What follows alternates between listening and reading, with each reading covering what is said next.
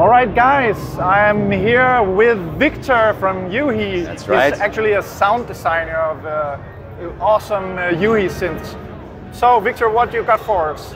Uh, let me give you a quick impression. So we're here this uh, this uh, this time in, at the NAMM show uh, to show our very latest uh, little tiny little uh, sneak peek for the upcoming Zebra 3. I say upcoming, but it's still quite a way away. but we'll start with the free Zebralette 3, like the old Zebra had this freeware plugin version, and we have the same thing for Zebra 3. let me give you a quick impression of what it looks like. This is the user interface. Um, it's, it's still in beta. It'll remain in beta for a couple of months, available in our forum, but later, once it's released, uh, it'll be available also at uh, Sonisto, like all our other plugins.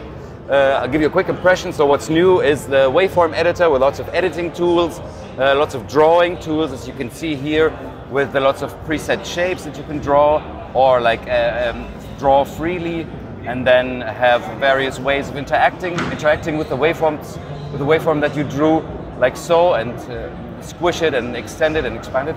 And then uh, there's various ways of like defining the morph between the different waves. We didn't have that in Zebra 2, but we'll now have it in Zebralette 3 and Zebra 3 as well. So currently these are like linear paths and then you can like bend those paths so they have a smoother transition between the frames. And then of course lots of oscillator effects as well, the same ones that we have in Zebra 2 plus, uh, plus a few new ones.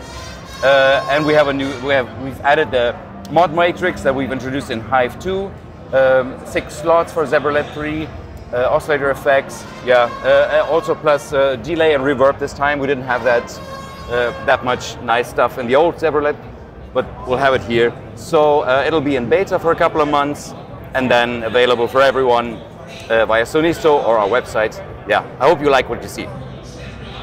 Awesome, Victor. Thank you so much. Of course, anytime. Have a good show. You too. Thanks. Ciao.